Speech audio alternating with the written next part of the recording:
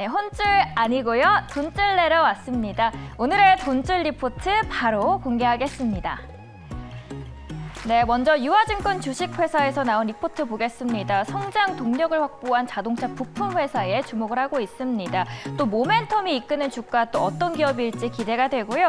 그리고 마지막으로 또 역대급 정유 실적 오늘 또 국제유가 상승 속에서 어떤 기업이 수혜를 받고 있을지 기대가 됩니다. 네, 그럼 첫 번째 리포트부터 보겠습니다. 오늘 뽑은 자동차 부품 회사는 아이윈입니다. 현재 8%대 상승하면서 2,010원에 거래 중입니다. 네, 이번 주 현대 기아의 호실적이 전망되면서 자동차 부품주들까지 그 낙수 효과를 받고 있습니다. 외국인의 매수세까지 유입되면서 수급적으로도 좋아 보이는데요. 그 수혜를 아이윈도 받을 수 있을지 리포트를 제가 자세히 들여다봤습니다. 우선 매출의 60과 30%를 현대기아가 차지하고 있어서 현대기아의 호실적 수혜는 아이윈에게도 적용이 됩니다. 그리고 아이윈도 전기차 전성기를 누릴 수 있는 기업입니다. 전기차는 멀리 운전을 할 때 중간에 충전이 어렵다는 단점이 있죠. 그래서 에너지 효율이 정말 중요한데요. 이 기업이 그 기술을 보유하고 있다는 점에서 매력적인 입지를 다지고 있습니다. 다만 목표 주가는 제시되지 않았습니다. 네, 다음 리포트 보겠습니다. 오늘 방위 항공주들이 좋은 흐름인데요. 한국항공우주는 현재 3.16% 빨간불 켜주면서 52,300원에 거래 중입니다. 오늘 방위산업 쪽이 폴란드 정부와의 수출 수주 예정 소식을 상승 중입니다. 그 안에서 이 기업도 수혜 종목으로 꼽힙니다. 그런데 사실 한국항공우주는 주가가 연초 대비 무려 56% 상승을 했죠. 그래서 투자하시는 분들 입장에서는 아유 지금은 너무 부담스럽다 하신, 하시는 분들 많으실 것 같습니다. 당연한 건데요. 심지어 리포트에서도 국내 다른 경쟁사 대비 부담이 존재한다고 언급을 합니다. 다만 주목되는 건 그럼에도 불구하고 매수를 유지하고 심지어 목표 주가를 상향했다는 점입니다. 이 완제기 수출 수주 그리고 기체 부품 사업의 회복 관련 모멘텀이 아직 남아있기 때문입니다. 그만큼 리포트에서는 앞으로가 더 탄탄하다는 점을 자신하면서 목표 주가 함께 확인해 보도록 하겠습니다. 6만 원 제시했습니다. 네, 마지막 기업은 기술력 top HPSP입니다. 증권가의 호실적 전망 속에 강세 보이고 있고요. 7.77% 상승하면서 55,500원에 거래 중입니다. HPSP 기업명이 익숙하지 않으신 분들 많으시죠? 신규 상장된 지 얼마 안 된 기업입니다. 생소하신 분들을 위해서 제가 하나씩 설명드리겠습니다. HPSP 상장 기간은 걸음마지만 기술력만큼은 1위의 존재감을 드러내고 있습니다. 세계 유일한 어닐링 기술을 갖고 있기 때문인데요. 여기서 말하는 어닐링 이 단어가 너무 생소해서 제가 공부를 열심히 해봤습니다. 쉽게 말씀드리면 금속이나 유리를 일정한 온도로 가열한 다음에 천천히 식혀서 내부 조직을 고르게 만들어서 물성으로 변화시키는 과정을 말합니다. 그리고 이 기술은 2차 전지 그리고 태양광 등 다양한 분야에 적용되기 때문에 수요는 앞으로도 더욱더 커질 것으로 전망됩니다. HPSP 상장 첫날 급락한 이후에 오늘은 저평가 매력이 부각되면서 반등이 들어오고 있고요. 그러면 리포트에서는 어디까지 또 주가가 올라갈 수 있다고 생각할까요? 바로 8만 2천 원 제시했습니다. 이 기업은 저도 기대가 되네요. 네, 신규 상장까지 세 가지 리포트 살펴봤고요. 다른 두 개는 소장님 돈줄 내주세요. 네, 다소 생소한 종목도 있었습니다. 언힐링과 관련한 기업 HPSP까지 알아봤고요. 또 오늘은 어떤 종목을 돈줄 혹은 혼줄을 내봐 할까요? YG경제연구소 차용주 수장과 함께하겠습니다. 어서 오세요. 안녕하십니까? 네, 네 안녕하십니까? 어, 오늘 살펴볼 종목은요, 사실 제가 좀 좋아하고, 그러니까 네. 지난 1분기 때 사실 기판주들이 너무 좋았잖아요, 아, 실적이. 그렇죠. 예, 예. 예. 믿고 보는 기판 그 안에서 대덕전자를 한번 훑어보겠습니다. 전화서 좋아하면 주가 잘 안 오르던데. 아, 그래서 최근에 떨어졌을 수도 있어요. 아, 예. 네. 아니, 지금 좀 올라오고 있어요. 맞아요. 아, 예, 예, 예. 이게 신한금융투자에서 리포트가 나왔는데 네. 든든한 버팀목이 있다라는 제목이었거든요. 일단 대덕전자에게 그 버팀목은 무엇인지부터 소개를 해주시죠. 어, 예, 일단 지금 2분기 매출에 대해서는 어, 이제 아무래도 이제 실적 시즌이니까 2분기 실적을 거론 안 할 수가 없는데요. 어, 매출액은 대략 한 3,200억 정도, 어, 전년 동기 대비해서 한 43% 정도, 영업이익은 611억 정도, 무려 어, 300% 넘게 이제 증가를 했습니다. 어, 전반적으로 봤을 때 이제 회사가 좀 변하고 있어요. 우리가 이제 어, 그 대덕선자는 이제 기판 쪽인데 어, 연성 기판보다는 패키지 기판 쪽에 비중이 좀 늘어나고 있다라는 거고요. 그다음에 FC BGA 기판이 어, 물량이 확대되고 있다라는 겁니다. FC BGA 기판 이게 뭐 생소하신 분들이 있을 텐데 요건 한 여담입니다만 저는 이런 어떤 용어들을 그 리포트 내실 때 밑에 박스처럼 해가지고 설명을 좀 해줬으면 좋겠어요. 그러니까 리포트 보시는 분들이 상당히 불편한 게 옆에 포털 사이트 를 띄워놓고 봐야 돼요. 네. 굉장히 어려운 전문 용어가 있기 때문에 이건 뭐 여담입니다만 이게 뭐냐면 적층으로 어, 이그 기판은 이제 쌓는다라는 개념 정도로 해서 이제 고밀도다라고 이제 보시면 될 것 같아요. 어쨌든 그 부분이 물량이 좀 확대되고 있다라는 거, 더군다나 이제 환율 효과까지 봤다라는 점이 어 일단은 지금에 있어서의 2분기 실적 호조다. 근데 믿는 구석이 뭐다냐라고 하면 바로 FC BGA 부분입니다. 이게 일단은 앞으로 출하량이 커질 것으로 보고 있다라는 거죠. 마진이 상당히 좋습니다. 무려 어, 내년에는 마진이 23% 29% 정도까지 30% 정도. 그 다음에 어, 점차 낮아져서 낮아져서 내후년에는 25%인데 어, 물건 하나 팔아서 30% 남는다. 더군다나 기판이 어, 이거는 정말 놀라운 거죠. 우리가 기판 영업이익률이 어, 뭐 회사마다 다릅니다만 5, 6% 정도만 나와도 꽤 괜찮은데 네. 삼성전자의 전체 영업이익률이 10%가 안 되잖아요. 근데도 이 기판 하나 팔아서 30%씩 남는다? 어, 대단하죠. 근데 이게 더 확대된다? 어, 이게 아마 이 리포트에 과연 유지, 그 요지가 아닐까 말씀드릴 수가 있겠습니다. 이 영업이익률이 굉장히 정말 동종 경쟁 업체들과 비교해 봤을 때, 그러니까 반도체 업체들과도 비교해 봤을 때 월등히나 높은 수준이거든요. 이것이 바로 대덕전자에게 든든한 버팀목이 되고 있는데, 근데 아마 아실 거예요. 1분기 실적 빵빠레 울리고 난 다음에 갑자기 기판주들이 우후죽순으로 쏟아졌을 때가 있어요. 그 당시 뭐 일본하고 대만에서 좀 흘러나왔던 이야기인데, FC BGA 기판에 대한 공급 과잉 우려가 있었거든요.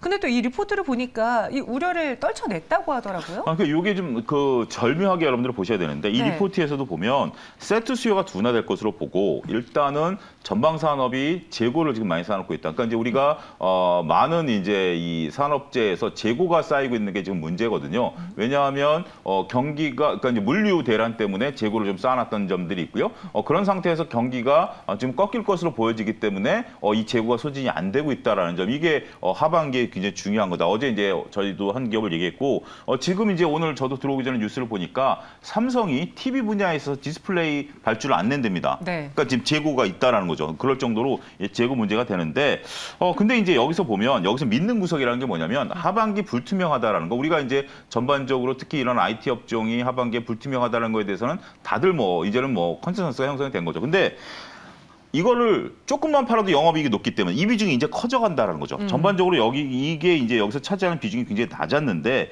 이 비중이 커져가면서 어, 이익이 커지니까 하나를 팔아도 이익이 크게 나는 거죠. 그래서 어, 영업이익이 흔들리지는 않을 것 같다. 어, 이런 리포트입니다. 그래서 전반적으로 어, 신한증권에서 볼 때는 올해 어, 매출액 증가율이 어, 그렇게 크게 늘어날 것 같지는 않지만 영업이익 증가율이 무려 200%에 달할 것이다. 뭐 이럴 정도죠. 그다음에 이제 내후년에 순차적으로 한 20%대로 낮아지긴 합니다만 어찌됐든 매출이 일단 어, 그렇게 그 1조에서 1조 3천억 정도로 늘어나지만 영업이익이 어마어마하게 늘어난다라는 거 이 부분 보게 된다면 올해 드라마틱한 변화가 일어날 가능성이 높지 않겠는가 여전히 그 value를 어, 어, view를 유지하고 있다 이렇게 설명을 드릴 수가 있겠습니다. 이 대덕전자는요 뭐 최근에 심텍, 이수페타시스 그렇게 한그 그렇죠. 하나의. 세트처럼 예, 움직였잖아요. 근데 오늘 보니까 뭐 애플이 허리띠를 졸라맨다고 하고 네. SK하이닉스도 청주 공장 증설을 보류한다고 네, 하고 그렇죠. 이런 경기 침체를 대기업들이 완전 온몸으로 겪고 있는 이 상황에서 반도체 소보장들 기판주들이 과연 살아남을 수 있을까라는 그 걱정에 대해서는 어떻게 생각하시는지요? 어, 전반적으로 업황이 썩 좋지 않습니다. 여기도 이제 솔직히 얘기를 했죠. 더군다나 지금 이제 어, 삼성전자가 최근 에 최근에 들어주다가 오늘 다시 이제 안타깝게도 어, 현재로서는 어, 반락하고 있는 상황이죠. 어, 소부장들도 며칠 들어주다 같이 되는데 일단 큰 그림을 보게 된다라면 지금 만약에 어, 주식시장이 들어주게 된다라면 전 소부장보다는 역시 삼성전자, SK하이닉스 쪽이 빠를 수 있다. 이게 지금 업황이 살아나서라기보다는 삼성전자와 SK하이닉스 오늘 SK하이닉스는 물론 이제 청주그냥 보류 때문에 어, 일단 논의를 친다 하면 삼성전자는 외국인들 매수로 최근에 지금 견주했잖아요. 맞아요. 그렇기 때문에 그것 때문에 삼성전자가 올라가는 거지 이 업황이 개선된다라고 보기에는 좀 미흡하다. 그러다 보니까 소부장이 올라가기는 어렵다. 근데 말씀하신 것처럼 이제 세트였었습니다. 세트인데 뭐 심텍 같은 경우 이제 DDR5에 중점을 뒀고 대덕전자 같은 경우 우리가 얘기하는 어, FC BGA 쪽에 중점을 두게 된다라면 DDR5도 이제 바뀌어가는 과정이에요. 우리가 이제 그 시스템이 바뀌어가는 과정이고 이것도 이제 앞으로 커져가는 과정이에요. 근데 마진은 이쪽이 높다라는 거죠. 어, 어. 그렇게 보기 때문에 높은 마진에 있는 품목들을 팔고 있다라는 거. 더군다나 이게 일본 같은 경우 마진이 한 40% 정도 된답니다. 그러니까 우리도 굉장히 높은 마진을 받고 있고 이게 글로벌 추세라는 거죠. 그런 부분들을 감안하게 된다라면 어, 당분간 이게 이제 어떻게 보면 어, 주가가 반등세를 나타낼 때 가장 탄력성 있게 움직일 가능성도 배제할 수 없다 이렇게 말씀드릴 수가 있겠습니다. 음, 그러니까 반도체 소부장의 그 경기 침체 피해를 완전히 나 몰라 할 수 없기 때문에 그렇죠. 그 안에서도 좀 영업이익률이 높은 기업들 혹은 잘 돈을 벌어낼 수 있고 성장할 수 있는 기업들을 골라내시는 게 중요할 것 같습니다. 그럼 이 대덕전자는 지금 목표 주가가 4만 3천 원으로 나오고 있는데요. 어, 이 리포트 믿어볼까요? 어, 예, 그렇습니다. 리포, 그 목표가를 조정하지 않았고, 네. 지금 전반적으로 봤을 때, 어, 이 그 multiple 같은 경우도 크게 이제 조정하지는 않았어요. 오히려 multiple을 좀 낮춘 뭐 그런 모습들을 보였기 때문에 괜찮을 것 같아요. 어, 그렇기 때문에 지금 현재로서 봤을 때는, 어, 여러분들 이제 목표 주가라는 게 당장 간다라는 게 아니라는 점 거듭 말씀드립니다. 특히 신한증권 같은 경우는 목표가가, 어, 대략 한 6개월 목표가예요. 어. 어, 그러니까 이제 여러분들 어, 리포트 저 화면에 여러분들 잠깐 보시 면 이 맨 마지막 장입니다. 네. 맨 마지막 장의 요 하단에 보면 증권사마다 이 목표 주가가 도달하는 것들이 이제 나와 있어요. 어, 그런 부분들 여러분들이 감안하셔서 이건 증권사마다 다릅니다. 3개월에서 12개월 차이기 때문에 6개월 목표가로 4만 3천 원 제시했다라는 점 어, 다시 한번 강조해서 말씀드리겠습니다. 네. 이 리포트 믿어보자 라고 의견 주셨어요. 목표 주가가 4만 3천 원이 나왔는데 뭐 지금 당장 이 가격까지 갈 겁니다가 아니라 이제 이번 리포트에서는 한 6개월 정도를 예상하고 지금 뭐 PBR 이런 걸 따져봤을 때 4만 3천 원이 나온 거니까요. 한번 참고해 보시기 바라겠습니다.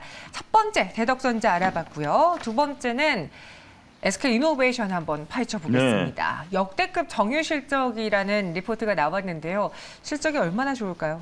어, 예, 진짜 역대급이라고 얘기를 하고 있습니다. 일단 영업이익이 2조예요. 음. 네. 2조 대가 나왔고, 어, 컨센서스가 1조 5천억인데 영업이익이 한 2조를 넘을 것이다. 이제 어마어마한 수치가 나왔다라고 좀 말씀드릴 수가 있겠죠. 어, 여러분들 잘 아시다시피 정유 쪽이 이제 그 영업이익이 어, 굉장히 좀 크게 나타났고 여기에 지금 재고에 따른 이익이 5천억 정도 더 플러스가 됐다.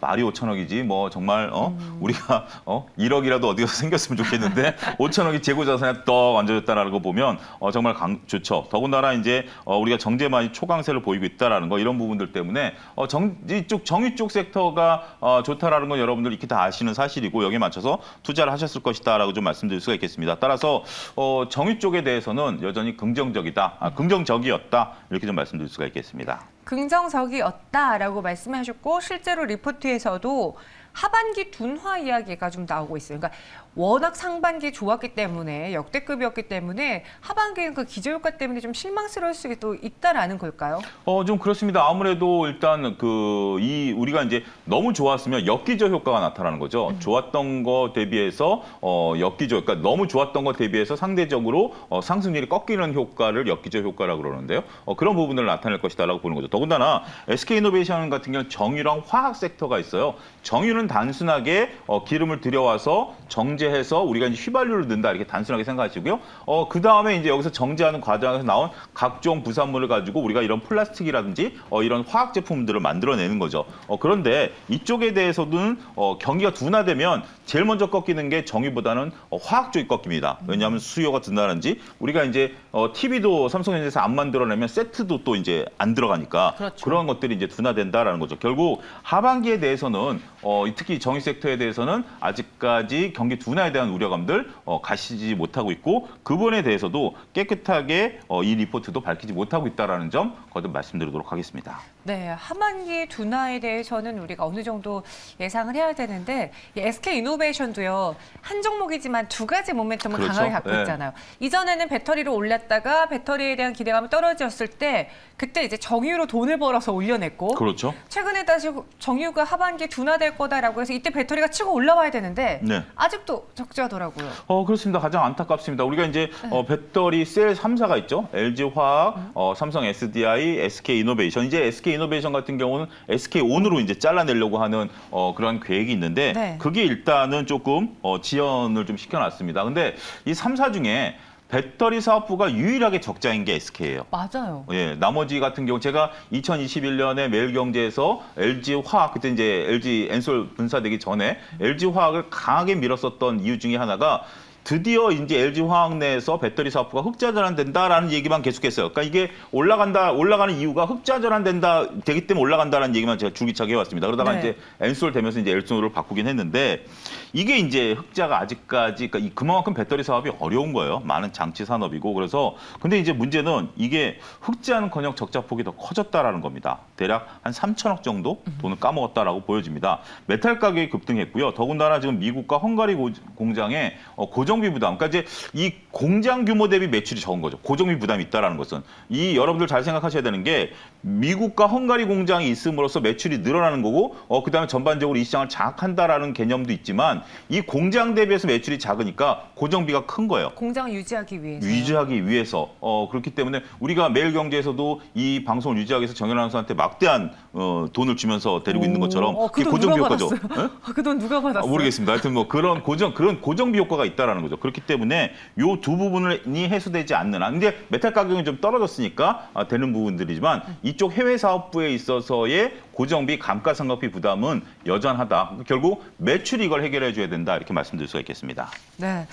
어, SK 이노베이션 지금 리포트에서도 그렇고요. 하반기 불투명으로 인해서 목표 주가를 하향했습니다.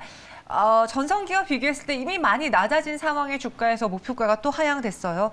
이 리포트 믿어볼까요? 어떻게 해볼까요? 아, 우리가 이제 많은 투자자들이 이 애널리스트 분들에게 좀 다소 그 안타까운 심정으로 말씀드리는 게 어, 이런 업황이 꺾이고 주가가 꺾일 때 미리 이런 것들에 대한 목표 주가를 낮추지 뒤늦게 이런 것들을 얘기하느냐라고 어, 조금 볼멘 소리를 하시긴 해요. 근데 애널리스트 입장에서도 심정적으로 경기가 꺾이고 그 다음에 어, 이 주가가 꺾이는 걸 보고 있더라도 논리가 찾아지고 근거가 나오기 전까지는 쉽게 내릴 수가 없습니다. 그러다 보니까 항상 이게 후행적으로 나타날 수밖에 없는 그 생리도 여러분들이 이해를 하셔야 돼요. 이, 이 사람 이분들이 뭐 억가 심정이 있어서 그런 건 아니에요. 그 대신 안 좋은 건 안 좋다라고 지금이라도 솔직히 썼다라는 점에 있어서 이 리포트 한번 믿어보고 결국 SK 이노베이션이 살아나야 될 트리거는 뭐죠? 정유 섹터 결국은 뭐 하반기 불안하죠. 결국 우리가 바라보는 건 뭐다? 배터리. 다 배터리 부분이 살아나는 부분들에 대해서 여러분들이 어, 촉각을 곤두세워야 되지 않을까 말씀드릴 수가 있겠습니다. 알겠습니다. 오늘 살펴본 두 가지 리포트에는 그 현실을 잘 짚어냈다. 네. 그래서 둘 다 믿어볼 만하다라고 했습니다. 오늘 소개해드렸던 신한금융투자의 두 가지 리포트 여러분들도 체크해 보시고요. 저희는 여기서 인사드리겠습니다. 고맙습니다.